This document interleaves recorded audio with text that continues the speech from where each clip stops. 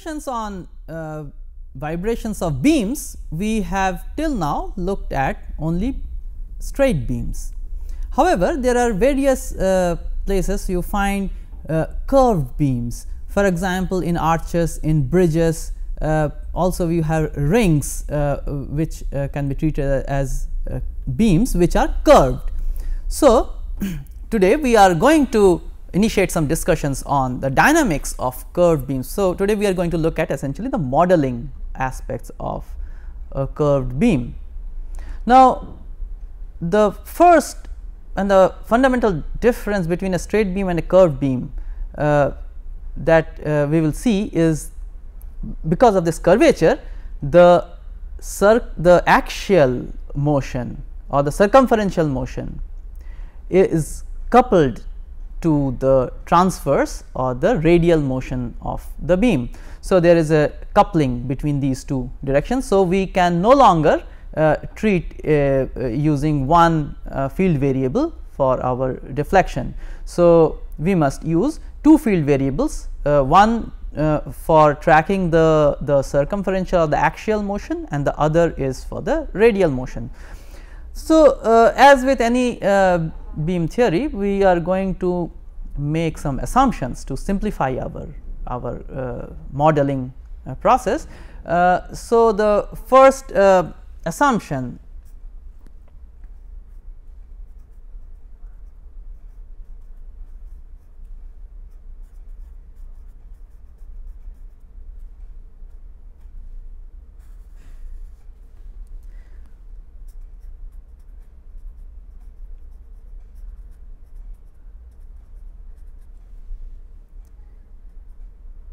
So, the first assumption uh, we make is that this uh, whole uh, the uh, the curvature of uh, the beam is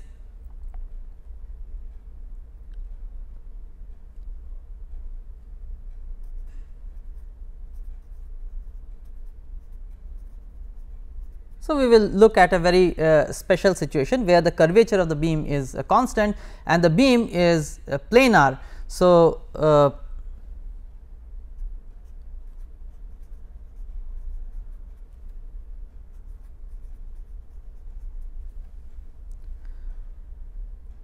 the second uh, assumption we make is the deflection is also uh, planar.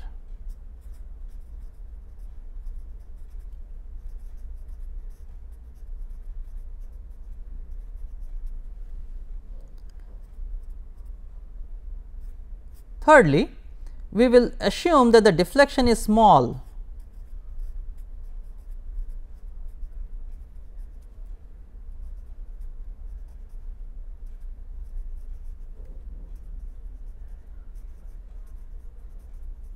compared to the thickness. Compared to the thickness of the beam, the, the deflection is small and we also assume that the thickness itself is small compared to the curvature.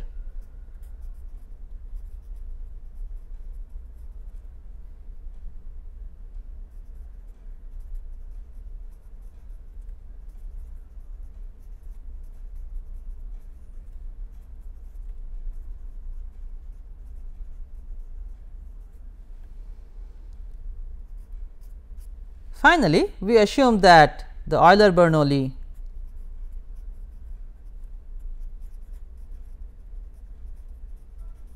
hypothesis holds.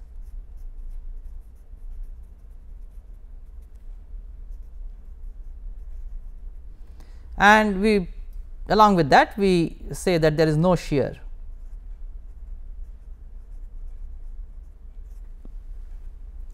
So, uh, under these uh, assumptions we are going to uh, model a curved beam.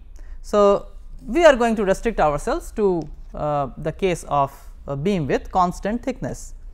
So, let us consider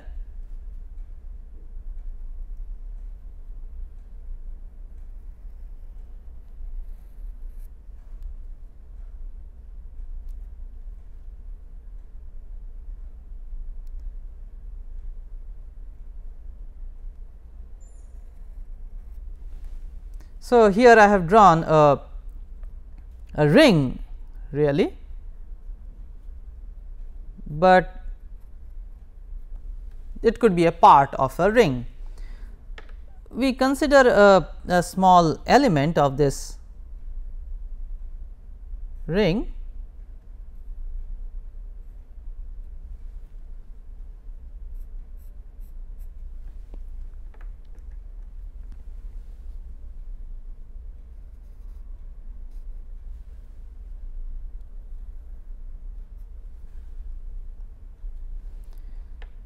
So, uh, this is the radial direction and the field variable.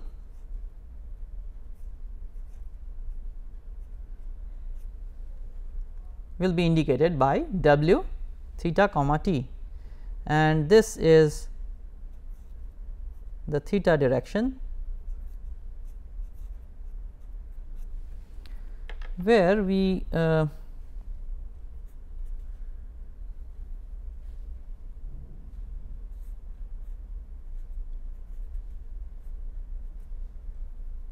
So, the radius of this circle the, the dash circle which we will consider as the neutral uh, fiber uh, that has a radius r which is constant as we have assumed. Now, let us look at this uh, little element. Now, we are going to look at the, the deformation kinematics of this little element. So, let me draw so, so when you uh, consider the, the deformation kinematics,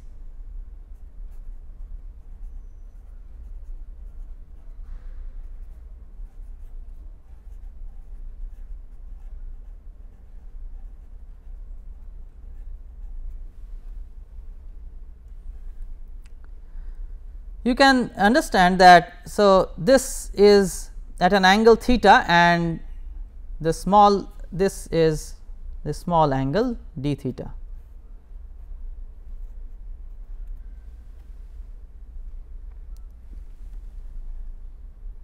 Now, initially the length of any fiber in this element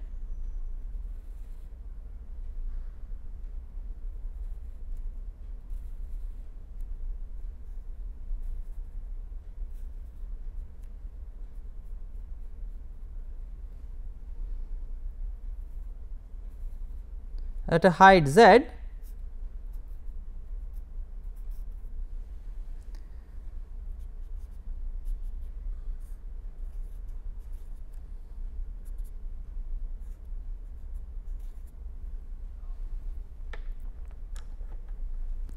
So, the length of uh, this fiber uh, before deformation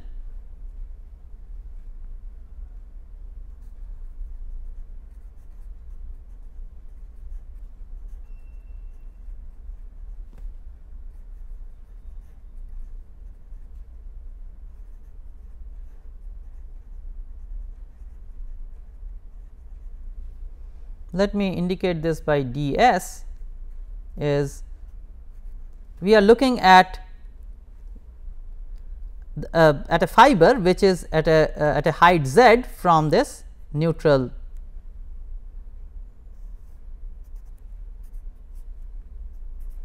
fiber.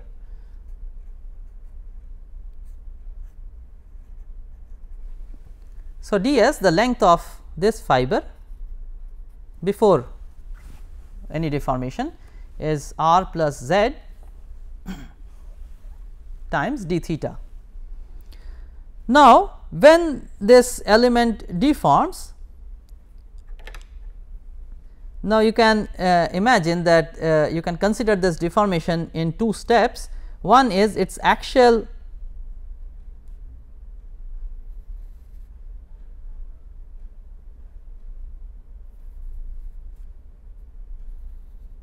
elongation. So,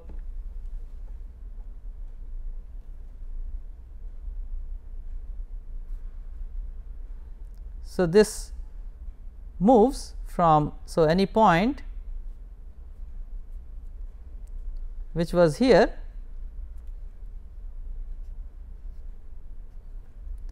moves here. So,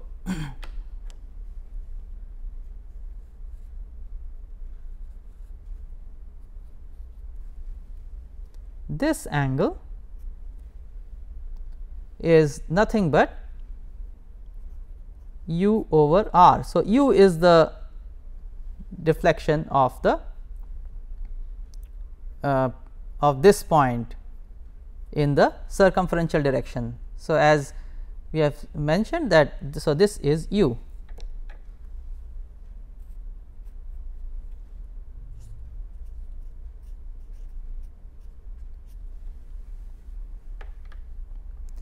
The second uh, uh, uh, deformation that can take place is that this deflects out radially.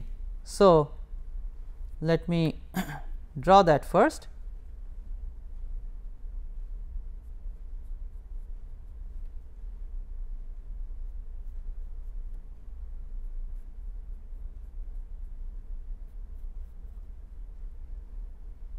So, here is P 2 and now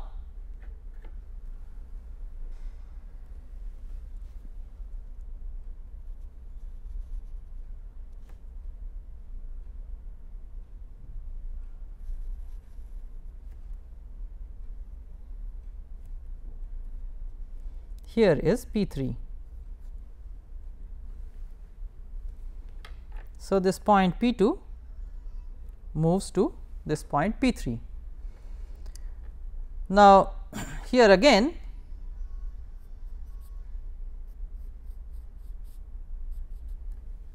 there is this angle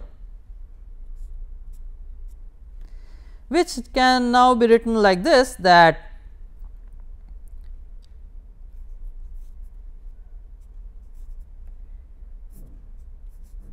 this is the slope of uh, of uh, the center line of this element when there is a, a, deflection in the in the radial direction or the transverse direction and which is captured by this field variable w. So, del w del theta 1 over r. So, that is nothing but that slope of the center line because w is the deflection of the of the neutral axis. So, that multiplied by z, z is the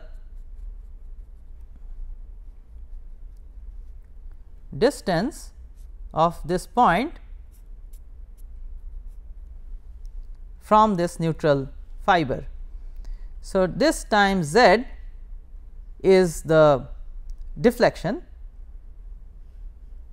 so, this is nothing but the angle for small deflections we know that this is the angle times the, the radius gives the, uh, the, the linear deflection of point P. So, it goes from P, P2 to P3. So, essentially this linear distance is what is being measured by this quantity and when you divide this by r plus z that gives us this small angle. So, therefore, now when you combine these two uh, deflections then then the total angle. So, this went this line went from here to here and now this line has traveled back. So, this angle let us say is theta prime then theta prime is given as theta plus u over r because of this motion circumferential motion and minus this angle.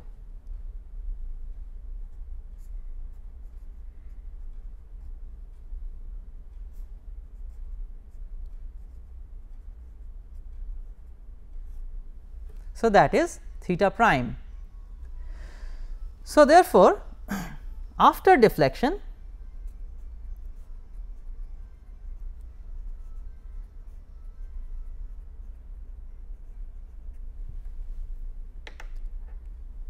d s prime if we call it d s prime then that is that is approximately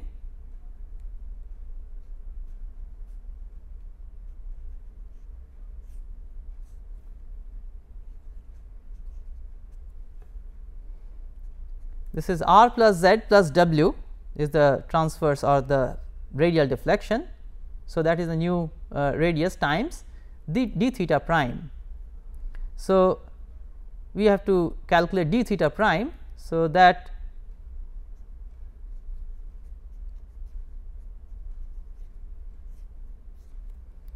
turns out to be d theta plus since r is a constant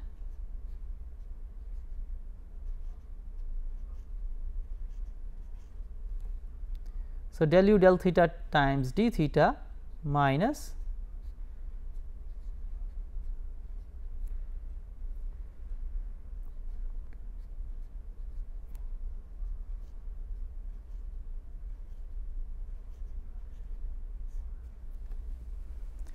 So, that so, so this is the expression of d s prime and therefore, if we calculate the strain now,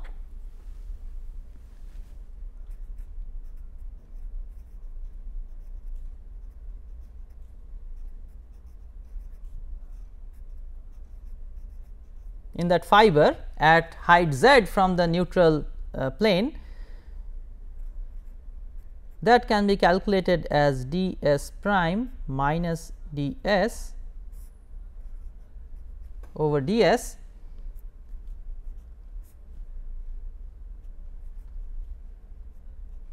and if you do this calculation it turns out to be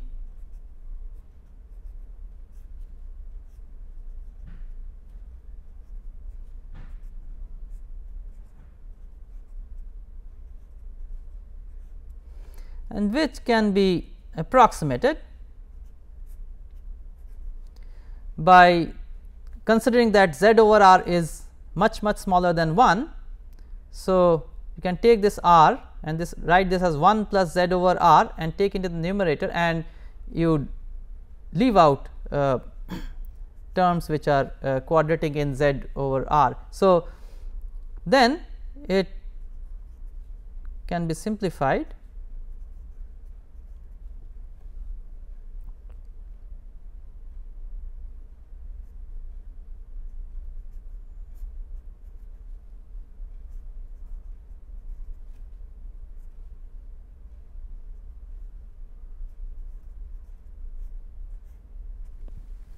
So, that is the strain in the fiber. Now, using this strain we can use uh, Hooke's law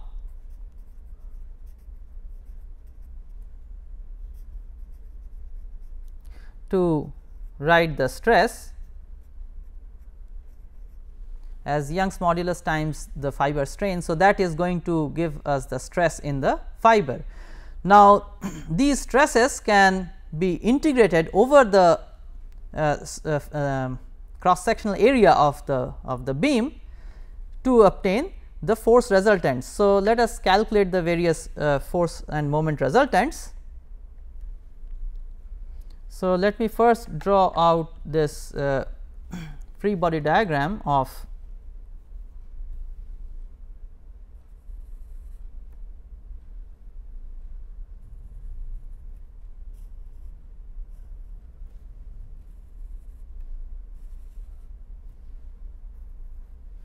So, this is a little element and we have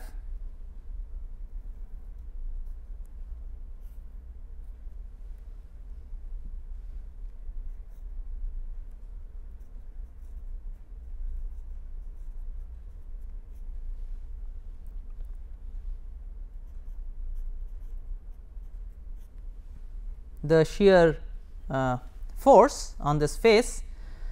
The bending moment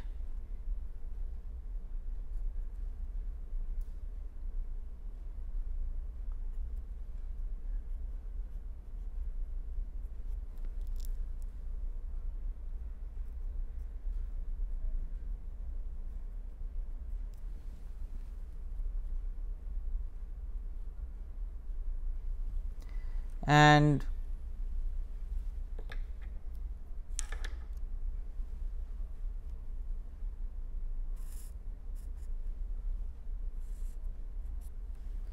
the circumferential forces.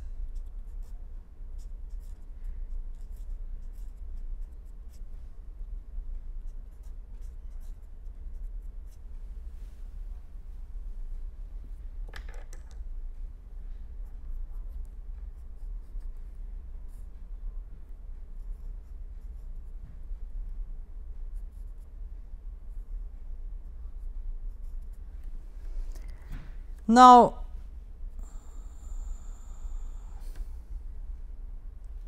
let me calculate this uh,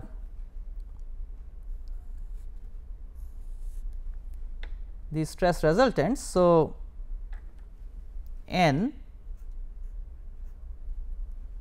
is nothing but integral over the area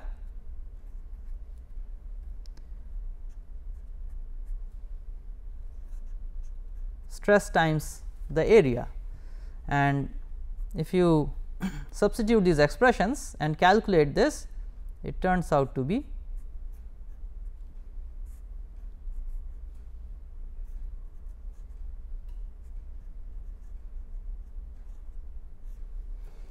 since there is a z term here. So, when you integrate over the area uh, since uh, this is already uh, measured from the neutral fiber. So, this term will vanish. So, you are left with this. Uh, uh, so, this is the expression of the normal force on the on the face. Then we have this uh, bending moment which is once again we calculate it uh, calculate as we did for the beam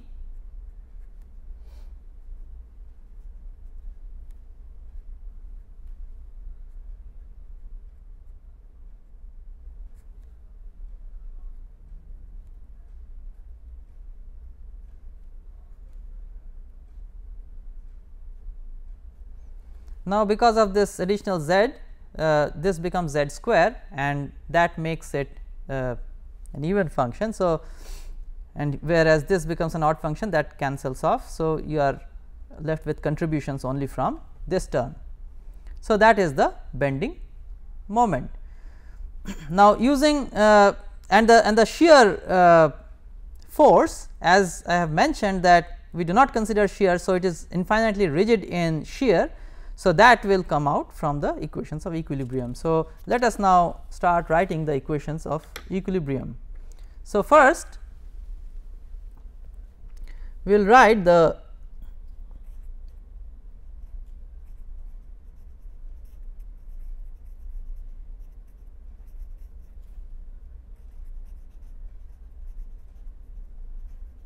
the circumferential equation.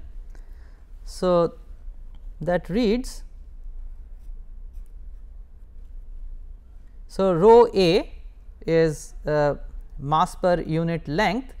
So, r d theta is the small length of that element. So, this is mass of the little element times u is the circumferential uh, motion of the field variable. So, the acceleration and that must be equal to the forces in the circumferential direction. So, let us look at refer to this figure once again.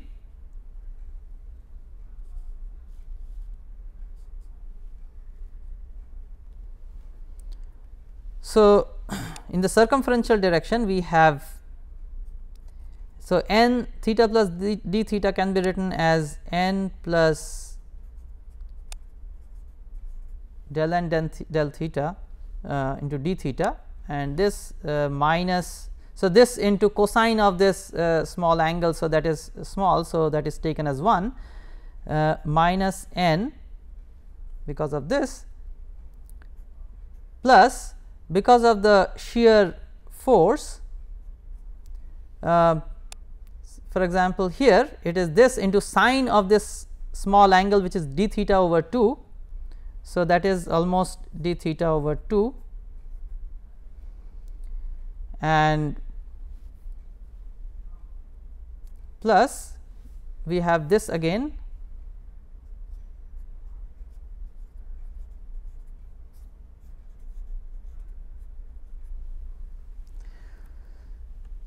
So, therefore, if you divide by d theta and uh, drop uh, terms smaller uh, than the first order, then you can easily write this equation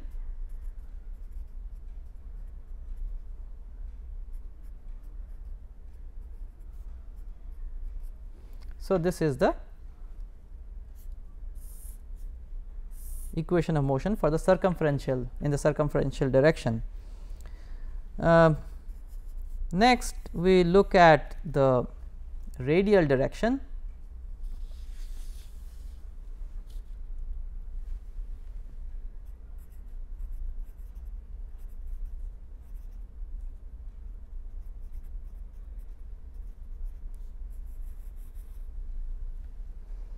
So, once again rho a r d theta is the mass of the little element times the acceleration in the transverse or the radial direction must be equal to the summation of all forces in the radial direction. So, so this is what we have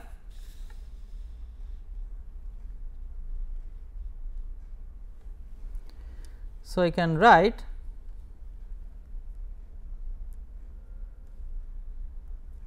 this as so, V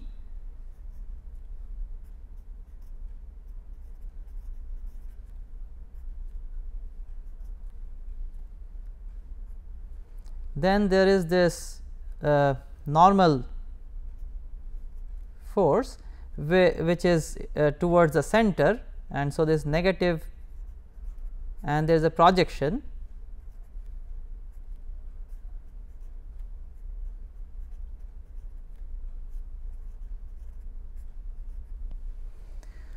So,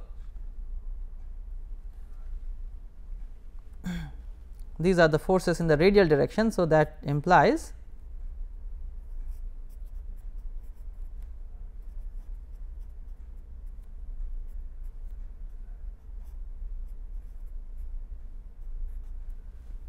So, this is the equation of motion in the radial direction. Next, we uh, will look at the rotational dynamics.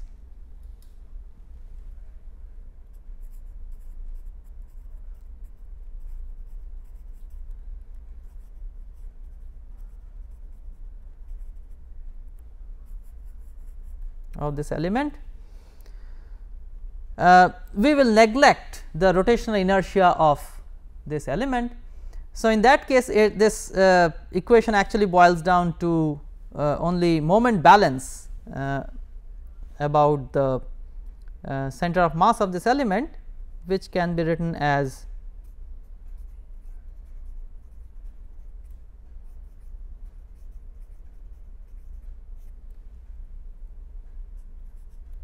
So, m is this uh, moment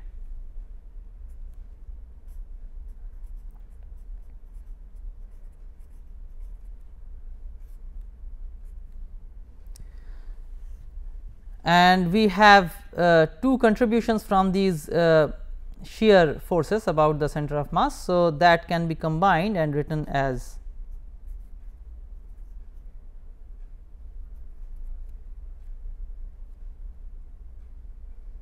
So, this is r theta over 2 and this is also r theta over 2 and they are they produce moment in the same direction. So, it is v times r d theta. So, that must be equal to 0 so, that implies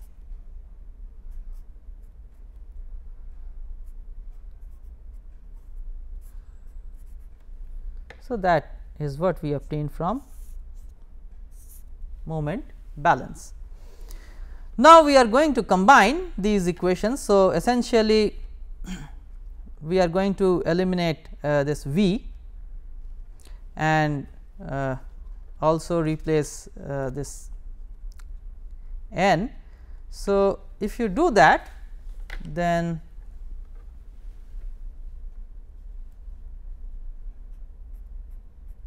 you get the equations of motion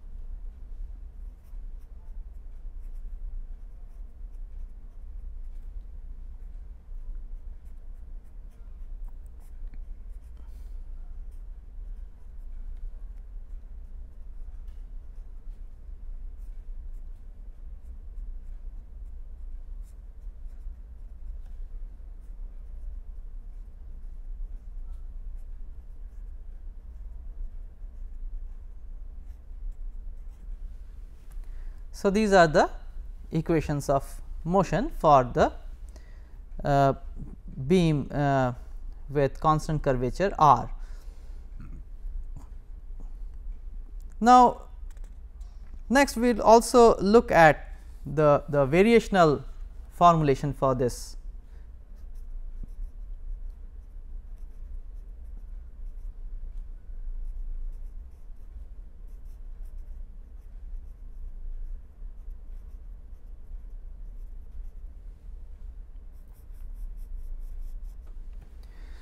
Uh, this we will uh, need when we do approximate calculations uh, using uh, for example Ritz method.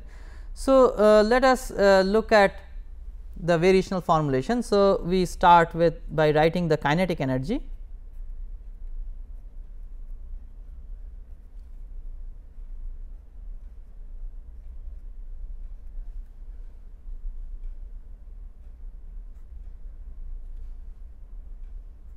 is 1 half the mass of the little element times the velocity square.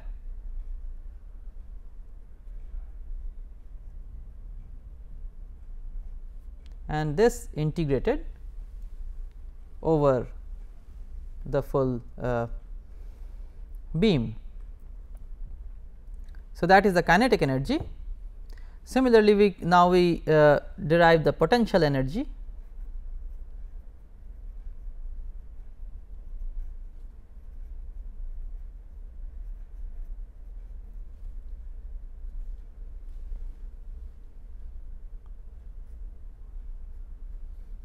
which is nothing but half. Now, we know from theory of elasticity that the uh, energy per unit volume is stress times the strain. So, 1 half stress times the strain for linear theory. So, stress is Young's modulus times the strain times the strain and so this is per unit volume. So, we integrate first over the area and then over the length.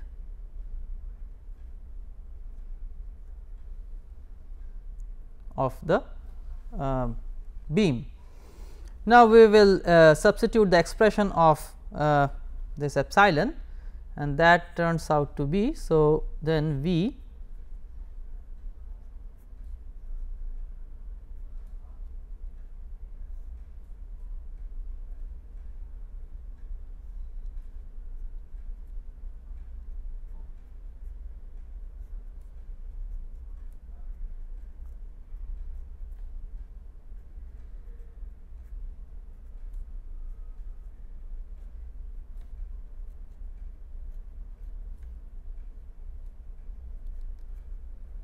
So, this bracketed term is the uh, strain epsilon. So, that squared d A and this and there was one uh,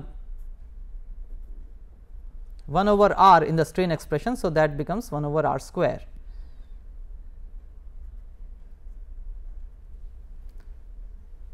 Now, if you square this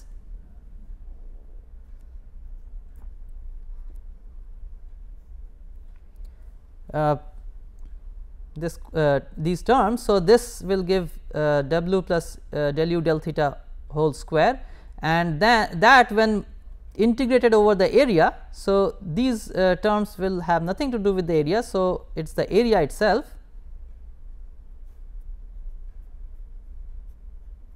So, we have so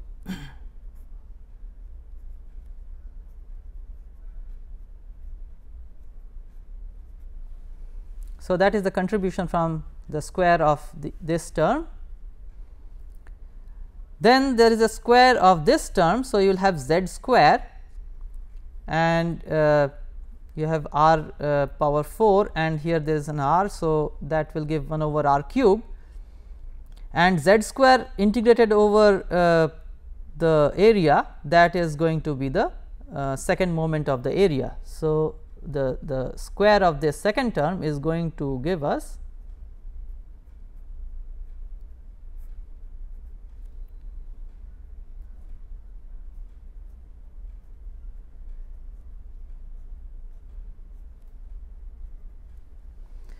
Then there is this third term 2 times this into this and that is linear in z and when you integrate over the area since z is measured already from the neutral axis or neutral plane. So, that term vanishes. So, these are the terms in the potential energy expression. Now, to move on further before we uh, move further we uh, let us make a little bit of simplifications uh, using certain redefinitions. So, let me uh, redefine time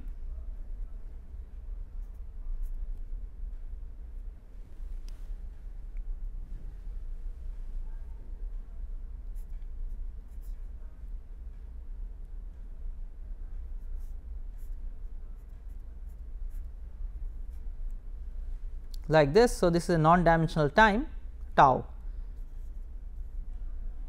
a non-dimensional circumferential uh, displacement and a non-dimensional transverse or radial displacement w tilde. And I will also define uh, the slenderness ratio which will be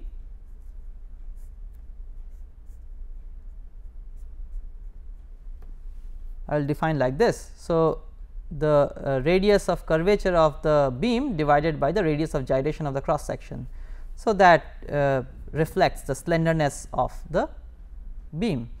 Now, if you use these uh, expressions then uh, the Lagrangian can be written as so integrated over the length of the beam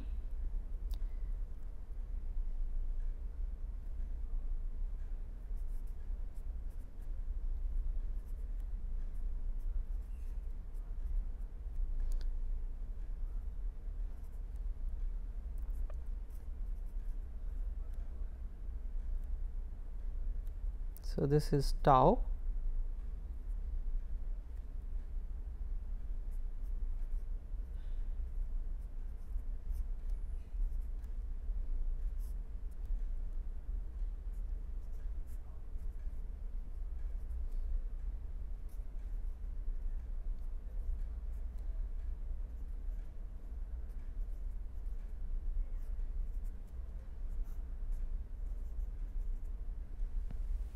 So, that is the Lagrangian of the system. Now, we uh,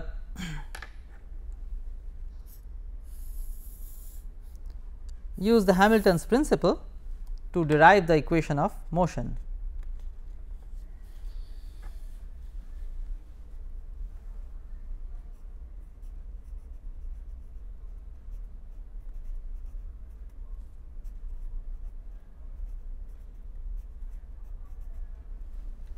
Which says that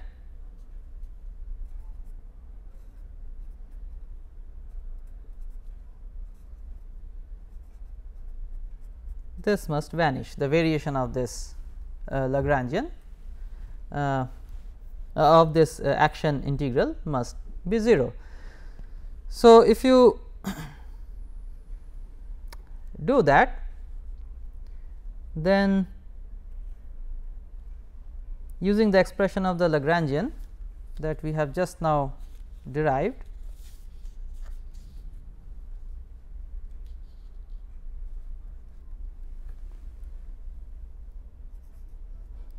I will drop the tilde in the in these uh, calculations now.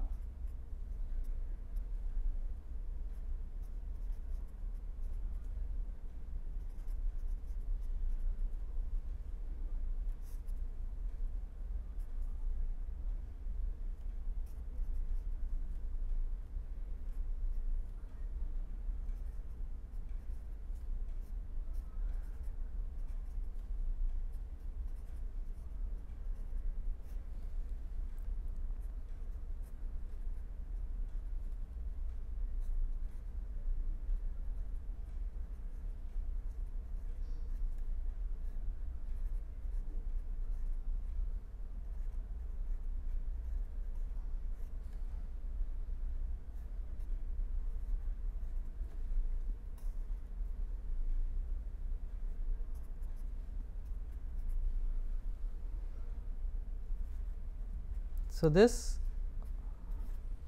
must vanish. Now, this has to be integrated by parts with respect to time these two terms and here we have to integrate by parts with respect to theta in these three terms. So, if you uh, do that then uh,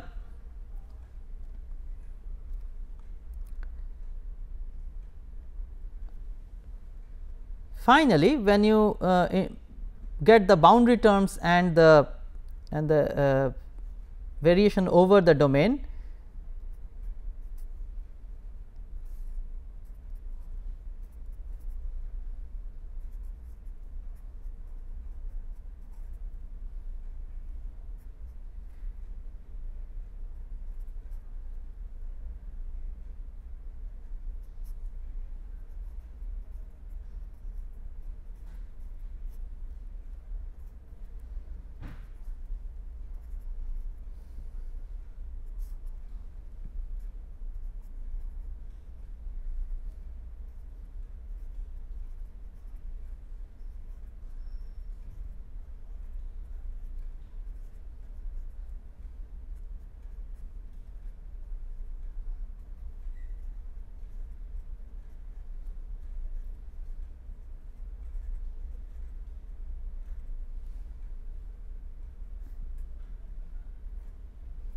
So, this is so this integral. So, here you have the limits over the domain of the the beam. So, it is 0 to some angles let us say theta bar and plus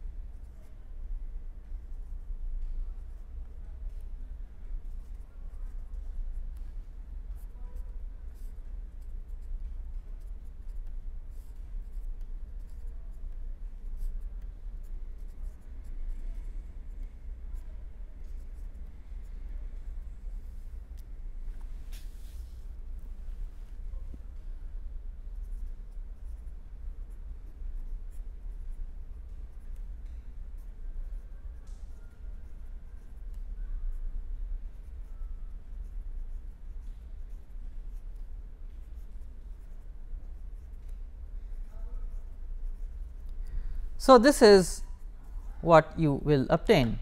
Now, from here it is uh, easy to see that this uh, using standard arguments uh, we can uh, uh, see that. So, this integrand must vanish and similarly this integrand must vanish uh, delta u and delta w being independent. So, we have the equations of motion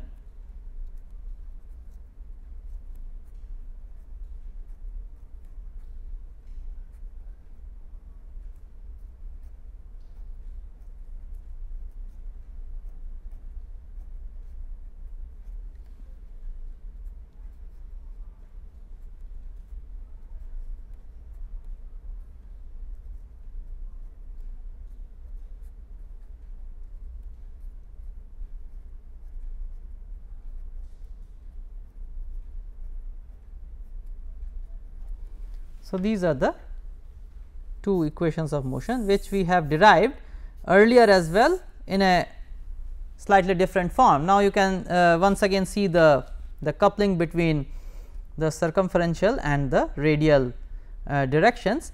Now, here since this is non dimensional these equations are non dimensionalized you can look at the contribution of these terms in the equation. Now, if uh, the slend if the if the beam is very very slender which means slenderness ratio is very high then these terms will become insignificant in that case the equations will get simplified. So, you have uh, only 3 terms in each equation which you can then um, uh, uh, try to solve but if the beam is not uh, slow, so slender in that case these terms will also uh, contribute uh, to the in the dynamics. Now, let us look at the boundary uh, conditions. So, they are obtained from so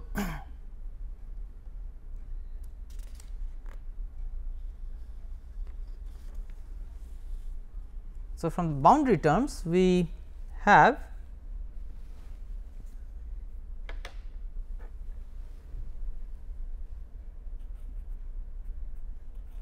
at theta equal to 0 and theta bar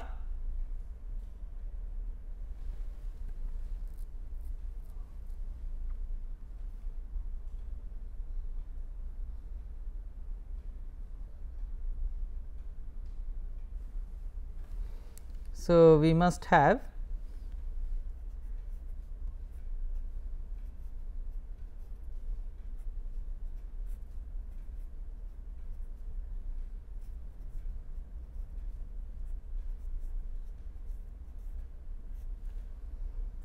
this equal to 0 or u must be equal to 0. So, either the circumferential uh, motion is restricted or so which is a geometric condition and this is a uh, natural boundary condition. Similarly, at again at theta equal to 0 and theta bar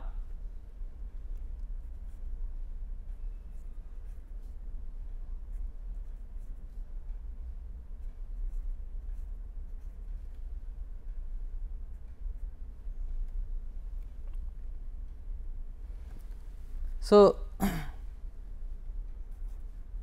this or so these uh, two uh, boundary conditions follow from these boundary terms. So, this is the first boundary term and this is the second boundary term corresponding to uh, displacements. So, delta u and delta w. There is this third boundary term which uh, is in terms of the, the slope.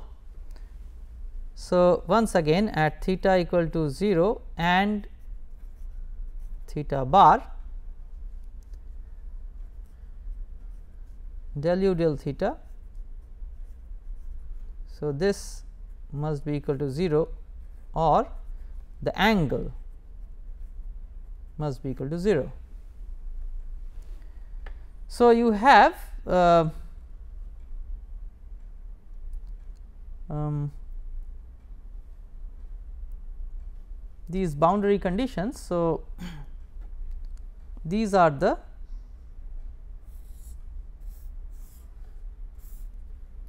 the geometric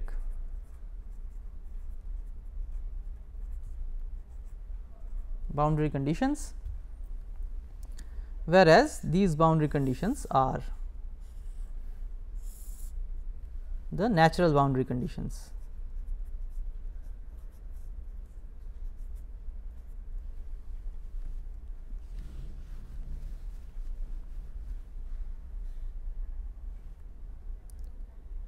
So,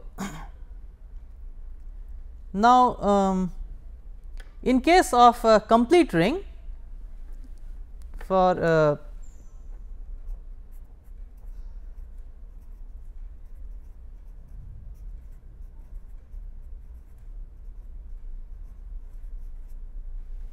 So, when there is a complete ring the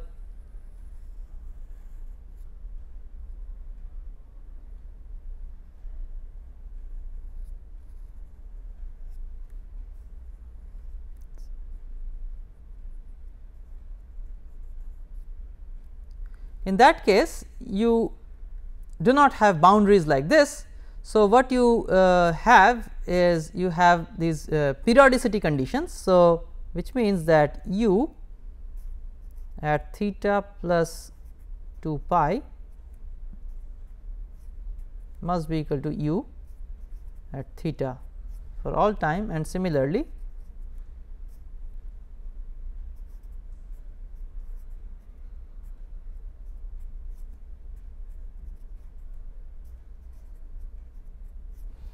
and all that follows from uh, the, these periodicity conditions. So, everything will is going to be periodic. Uh, so, dis, uh, displacement, slope, uh, uh, bending moment, shear force etc. So, they are going to uh, satisfy the periodicity conditions. So, for a complete ring we have these two conditions. So, let us briefly recapitulate what we have discussed today we have uh, today discussed the uh, initiated some discussions on the dynamics of uh, curved beams. We have considered in particular beams of constant curvature. And we have derived the equation equations of motion using both Newtonian as well as the variational formulation. And uh, this is uh, very interesting and peculiar about these curved beams uh, that the transverse and circumferential motions now are coupled they uh, so in in the in the straight beams we have we have only the transverse motion. We can uh, treat the transverse and the axial motion separately. They are decoupled but uh, this curvature uh, in in the case of curved beams couples the the, the circumferential and the transverse dynamics that is what we have seen through the equations of motion. So, with that uh, we conclude this lecture.